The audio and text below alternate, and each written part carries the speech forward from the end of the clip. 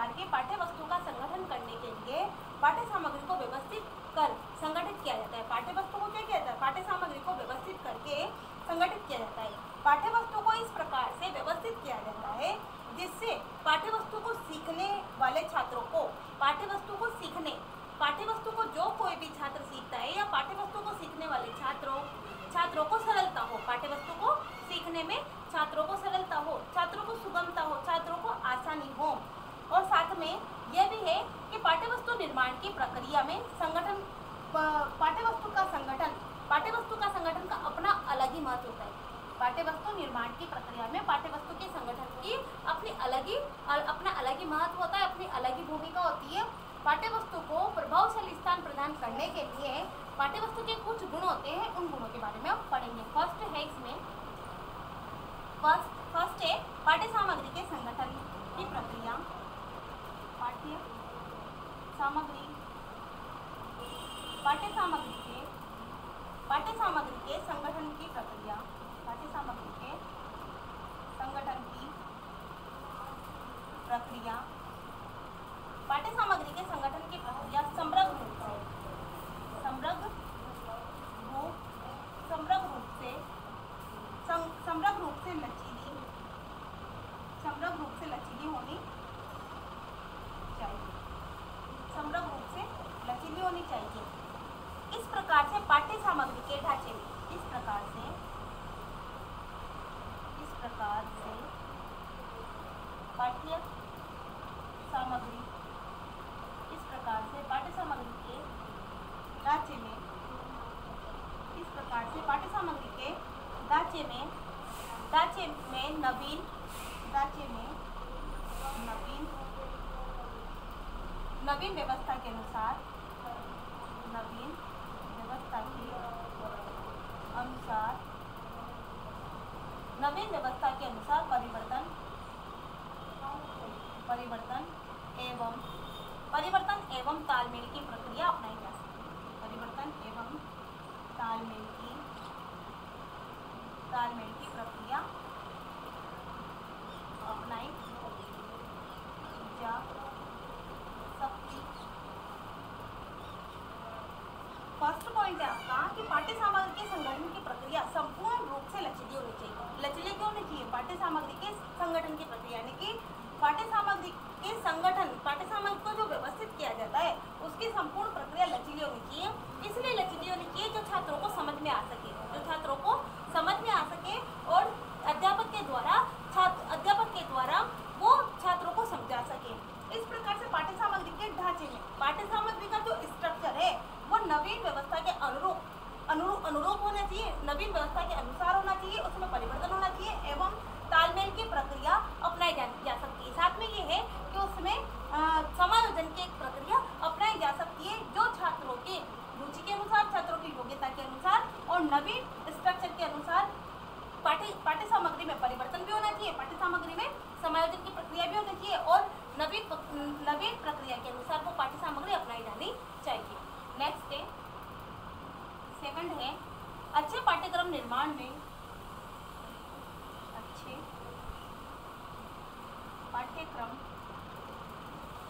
अच्छे पाठ्यक्रम निर्माण में अच्छे पाठ्यक्रम निर्माण में विशिष्ट प्रक्रिया विशिष्ट प्रक्रिया विशिष्ट विशिष्ट प्रक्रिया द्वारा, विशिष्ट प्रक्रिया द्वारा छात्रों को, विशिष्ट प्रक्रिया द्वारा छात्रों की आवश्यकताओं, छात्रों की आवश्यकताओं, विशिष्ट प्रक्रिया द्वारा छात्रों की आवश्यकताओं और, छात्रों की आवश्यकताओं और रुचियों, छात्रों की आवश्यकताओं और रुचियों रुचियों का, रुचियों को रुचियों को ध्यान में को ध्यान में रखकर रुचियों को ध्यान में रखकर क्रियाएँ रुचियों को ध्यान में रखकर क्रियाएँ योजना क्रियाएँ योजनाओं क्रियाएँ योजनाओं और और कार्यकाल और कार्यकाल और कार्यकाल कार्यकाल को शामिल किया जाना जा सकता है कार्यकाल को शामिल किया जा सकता है। कार्यकाल को शामिल किया जा सकता है।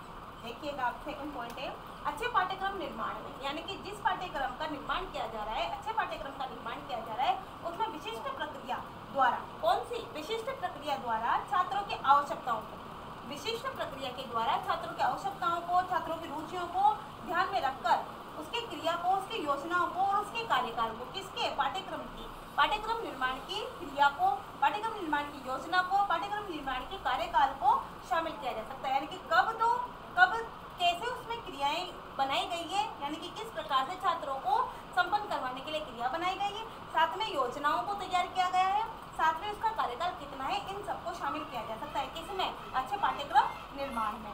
नेक्स्ट देखिएगा, वित्तीय लेखांकन विषय में थर्ड देखिएगा थर्ड पॉइंट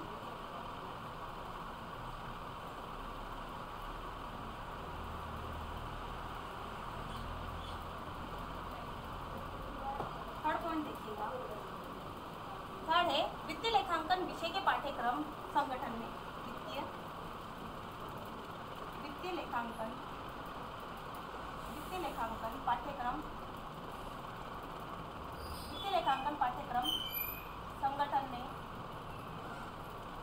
वित्तीय लेखांकन पाठ्यक्रम वित्तीय लेखांकन विषय के पाठ्यक्रम संगठन में। वित्तीय लेखांकन पाठ्यक्रम संगठन में कक्षा के भीतर कक्षा के भीतर। कक्षा के भीतर, कक्षा के भीतर तथा कक्षा के बाहर, कक्षा के भीतर तथा कक्षा के बाहर। सीखने के सीखने के सीखने के अनुभव में, सीखने के सीखने के अनुभव में, सीखने के अनुभव में संतुलन, सीखने के अनुभव में संतुलन बनाए रखने का संतुलन बनाए रखने, संतुलन बनाए रखने का एक क्रम होना चाहिए। एक क्रम होना चाहिए। संतुलन बनाए रखने का एक क्रम होना चाहिए। कहने का मतलब है कि पाठ्य पाठ्य वस्तु का संगठन इस प्रकार से किया जाए कि वित्तीय लेखांकन विषय का पाठ्यक्रम पाठ्यक्रम संगठन में कक्षा के भीतर और कक्षा के बाहर। कक्षा के भीतर छात्र क्या करते हैं और कक्षा के बाहर छात्र सीखने के अनुभवों को किस प्रकार से संतुलन बनाकर रखते हैं, उनका एक क्रम होना चाहिए। उनका एक, क्या होना चाहिए? उनका एक क्रम होना चाहिए, यानी कि क्रम से उनका एक क्रम होना चाहिए कि वो कक्षा के अंदर किस प्रकार से पाठ्यक्रम के संगठन को कक्षा के अंदर अनुभव प्राप्त करते हैं तथा कक्षा के बाहर वो किस प्रकार से अनुभवों को सीखते हैं, अनुभव को प्राप्त करते हैं। तो उसका एक क्रम होना चाहिए, ठीक है? नेक्स्ट है फोर्थ पाठ्यक्रम में पाठ्य सामग्री पाठ्यक्रम में। पाठ्यक्रम में पाठ्य सामग्री पाठ्यक्रम में पाठ्य सामग्री संग्रहित कर। संग्रहित कर। पाठ्यक्रम में पाठ्य सामग्री संग्रहित कर। छात्रों को छात्रों की मनोवैज्ञानिक। छात्रों की मनोवैज्ञानिक आवश्यकताओं, छात्रों की मनोवैज्ञानिक मनोवैज्ञानिक आकांक्षाओं, छात्रों की मनोवैज्ञानिक आकांक्षाओं, छात्रों की मनोवैज्ञानिक आकांक्षाओं एवं एवं तर्क तर्क की आवश्यकता, तर्क की तर्क की आवश्यकता, तर्क की आवश्यकताओं को, तर्क की आवश्यकताओं को पूरा किया जाना चाहिए। तर्क की आवश्यकताओं को पूरा किया? जाना चाहिए। तर्क की आवश्यकताओं को पूरा किया जाना चाहिए फोर्थ पॉइंट है आपका कि पाठ्यक्रम में पाठ्य सामग्री संग्रहित कर यानी कि पाठ्य वस्तु का जो संगठन है उसमें पाठ्यक्रम में पाठ्य सामग्री को इकट्ठा कर लेना चाहिए पाठ्य सामग्री को संग्रहित कर, ले, कर लेना चाहिए पाठ्य सामग्री को संग्रहित कर लेने के बाद छात्रों की मनोवैज्ञानिक आकांक्षाओं यानी कि छात्रों की मानसिक और शारीरिक आकांक्षाओं लालसाओं इच्छाओं इच्छाओं को तर्क की आवश्यकताओं को यानी कि उनके तर्क वितर्क की आवश्यकताओं पर पूरा किया जाना चाहिए। किसको? पाठ्यक्रम पर ठीक है? फिफ्थ है इसमें। फिफ्थ पॉइंट देखिएगा।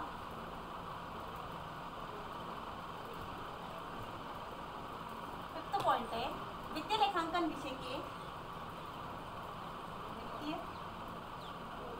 लेखांकन वित्तीय लेखांकन विषय के वित्तीय लेखांकन विषय के लेखांकन विषय के पाठ्यक्रम की पाठ्यक्रम की पाठ्य वस्तु का संगठन। पाठ्यक्रम की पाठ्य वस्तु पाठ्यक्रम की पाठ्य वस्तु का संगठन। पाठ्यक्रम की पाठ्य वस्तु का संगठन करते समय,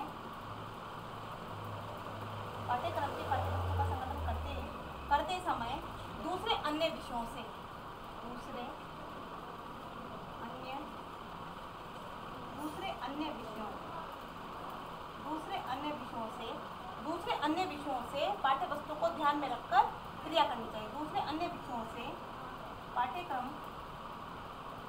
की पाठ्यक्रम की पाठ्यक्रम पाठ्यक्रम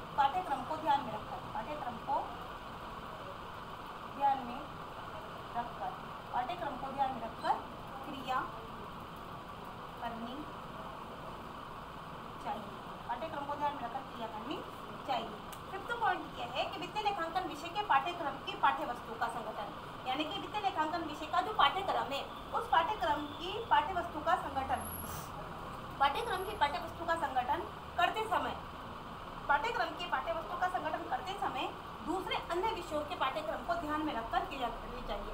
दूसरे अन्य विषयों के पाठ्यक्रम को ध्यान में रखते हुए क्या करनी चाहिए? क्रिया करनी चाहिए। कहने का मतलब यह है कि एक विषय का संबंध दूसरे विषय से होना चाहिए, यानी कि अर्थशास्त्र तथा व्यापार। अर्थशास्त्र तथा व्यापार, प्रगति आदि की पाठ्य वस्तु को ध्यान में रखकर क्रिया करनी चाहिए। ठीक है, ये आपके पाठ्य